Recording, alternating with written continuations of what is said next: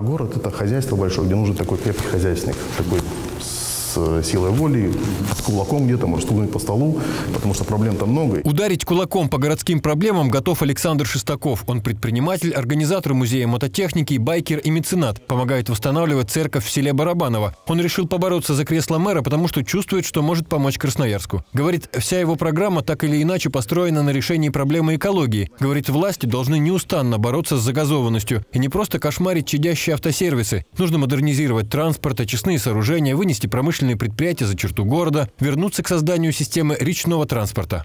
На правый берег было бы удобно. И сейчас даже существуют технологии, что это работало все в зимний период. Потому что все-таки у нас зима длинная, ну и, и лето, там, я думаю, что 8 месяцев этот транспорт можно без проблем использовать. Вот это экологично, и для этого не нужны дороги. И река есть уже дорога.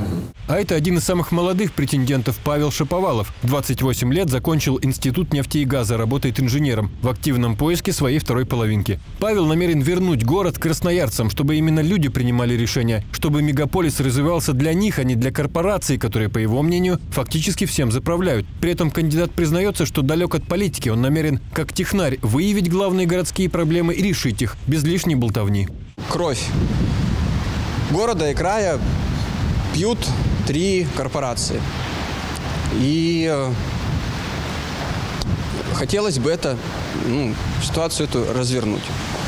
Развернуть в ту сторону, чтобы у нас э, э, слышали мнение граждан, и они более усиленно представлялись городским советом. Это моя позиция. У претендента на пост мэра Алексея Аксютенко политического опыта больше. В мэрии Красноярска он работал с 1999 по 2017 год. Дослужился до заместителя главного архитектора. Алексей говорит, нынешний конкурс на право занять пост мэра – это хорошо срежиссированный спектакль. О том, что Сергея Еремина хотят заменить на Владислава Логинова, стало известно уже давно. Аксютенко уверен, что краевые власти планируют провести формальный конкурс, не привлекая большого внимания. В программе Алексея сокращение увольнение чиновников, упразднение районных администраций, решение мусорных проблем и многих других. Я считаю своим главным оппонентом э, внутриполитический блок правительства Красноярского края, э, потому что именно они задают тренды и они влияют на волеизъявление депутатского корпуса.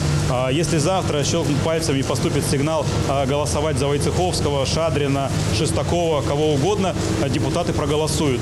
У еще одного кандидата Алексея Полковникова главная цель – завести в Красноярск газ. Претендент говорит, что он безработный и бездомный, и винит в этом власти, которые якобы пытаются наказать его за борьбу с произволом. Интервью с Полковниковым записали наши коллеги из Красмеш. Первым делом, если меня комиссия выберет в качестве главы города, будет приказ. Первый приказ о поставках газа в Красноярск немедленно. Всем претендентам на пост мэра еще предстоит продемонстрировать свои ораторские таланты, но теперь уже конкурсной комиссии, которая выставит им свои оценки. Этот этап намечен на 8 сентября. Примечательно, что большие оппозиционные политические партии в нынешних выборах не участвуют. Коммунисты заявили, что выборы должны быть всенародными, а играть в поддавки не имеет смысла. В ЛДПР процедуру тоже игнорируют. Виталий Поляков, Сергей Кашин. Новости ТВК.